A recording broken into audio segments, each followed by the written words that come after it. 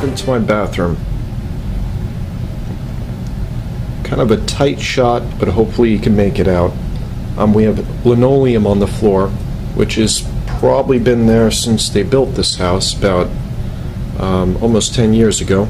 I'm going to go ahead and I'm going to use the stick-on tiles to do an upgrade in this bathroom.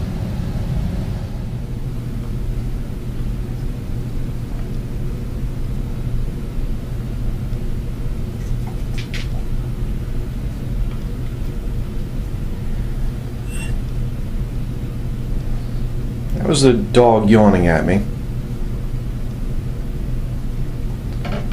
He's very curious to what we're going to be doing here.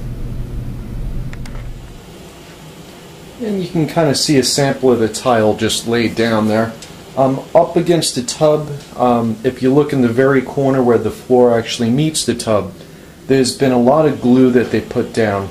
Um, it's some kind of caulking and I'm using acetone to actually uh, rub that off of the tub and it's been cleaning up pretty good just to get all the residue glue off and I'll finish that up. Okay, as you can see the uh, glue's coming off pretty good from the, uh, the tub. The next thing I'm going to do um, is pull up the floor and besides that I'm actually going to paint the trim on the side that way it uh, looks nice and fresh and the lines look good. There's a shot of what's under the linoleum and um, if you look they only glued around the edges and not the center. Well, I decided um, at this point um, I'm actually going to replace the uh, the toilet. I ran to Lowe's. I picked up a bigger toilet to kind of upgrade that. Um, that's original with the house, probably um, I'd say eight years old or so. he's inspecting. Uh, the floor, I went ahead and I sprayed some uh, bleach on the floor just to, to kill any mold that might be there and to clean it up. Pretty amazing to me that they only put glue on the uh, the corners where the um, linoleum goes down and nothing in the center. Kind of silly, but uh, that's okay. We're going to go ahead and replace it with this tile and uh, put a new toilet down. As you can see there, we pulled out the uh, toilet bowl. Um, right now, the liquid you see around there, I poured bleach on it. Always a great thing when you can actually get at the uh, root of the toilet, pour bleach down it, kill odors and all that good stuff and bacteria. Um, the floor came up really easy. Um, as you probably could see there, kind of looks really strange to have cement in my house, bare cement. But I went ahead and I'm cleaning up the uh, the tub, cleaning up the trim work right now, and I'm just prepping the floor to be able to put the tiles down. What I'm using for the uh, remove the caulk is a razor, as well as this refinishing kit. I don't know if you guys can make that out. I've got this at Lowe's. That way when I actually caulk everything, I can go over and uh, finish up the grout lines real nice. Caulk lines, rather. Sneak peek, there's a couple just laid down. Just lining them up and getting everything to fit right. Looking good so far. Couple more squares out, starting to look like something.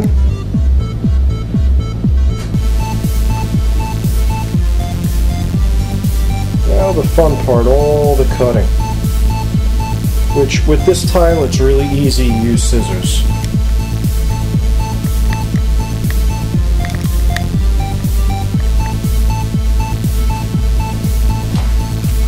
Getting there. The uh, toilet side of it was a lot of fun, cutting that out to size. But yeah, definitely getting there. I'll move out of the way so you guys can see.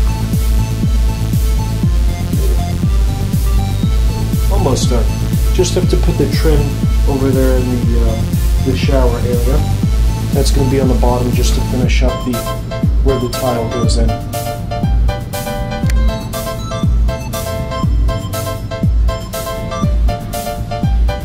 Just waiting on the uh, caulk to uh, dry up, but we're done.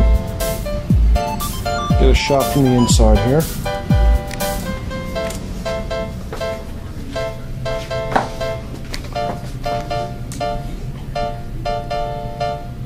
came out nice. I'm pretty thrilled with it.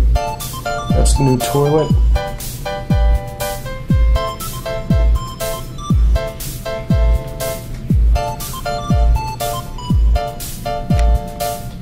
My wife says it looks new again.